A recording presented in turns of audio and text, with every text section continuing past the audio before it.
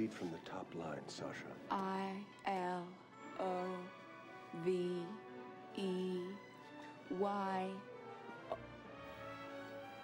Oh. You.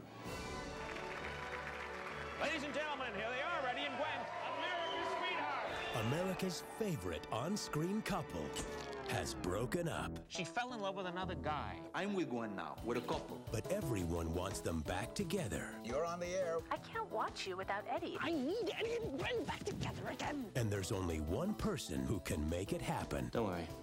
I know somebody. Wait, you know I love you. You know I'd do anything for you. You're just asking an awful lot. Kiki! I smell smoke. Could you please put that out? Please, please. You look fabulous. What, what did you do? It's my hair. She lost 60 pounds. 60 pounds. Yeah. That's a Backstreet Boy. Now they're trying to keep up appearances, Here they are, Eddie and Gwen, together again. and she's picking up the pieces. But you want to take a swing at me, huh? Please. Come on.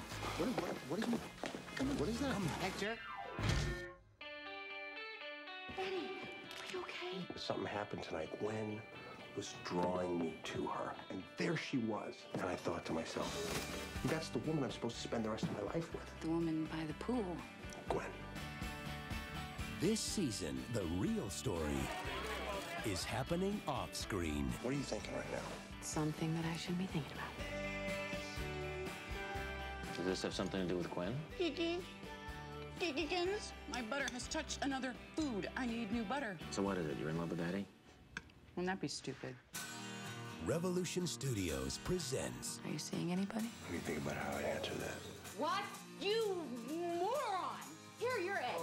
There you go. This is a very complicated situation. Let me uncomplicate it for you.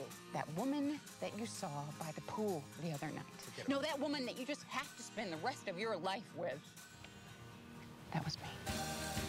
Academy Award winner Julia Roberts, Billy Crystal, Hey! Catherine Zeta Jones, John Cusack, I've never seen him look at her the way he's been looking at you. America's sweethearts. At least buy me dinner and drinks first. Don't let me interrupt.